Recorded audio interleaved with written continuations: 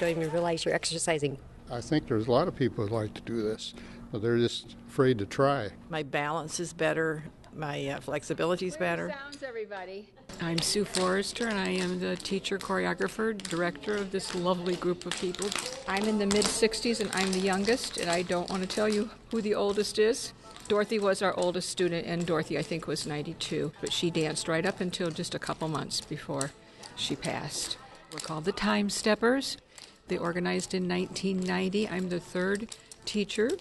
The best part is that they do performances, they share their love of dance with the community. They do things at senior homes and go to special Alzheimer's centers and just delight people with their love of dance. Their joy on their faces communicates to the audience. Bob Husser. How long have you been with the group? Uh, I started with the, in 96. The way I got started, some girls that worked for me in the office gave me tap dance lessons. How good do you think you are? Average. Doesn't matter. No. sometimes I'm good, sometimes I'm not. My name is Gladdy Manley.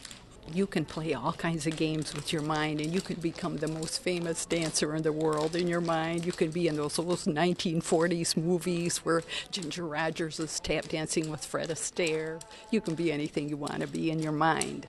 My name is Pat McIntosh, and I'm Kalamazoo. I joined the class when I was 73. I always wanted to tap dance. And how old are you now? 79. Sharon Clausen.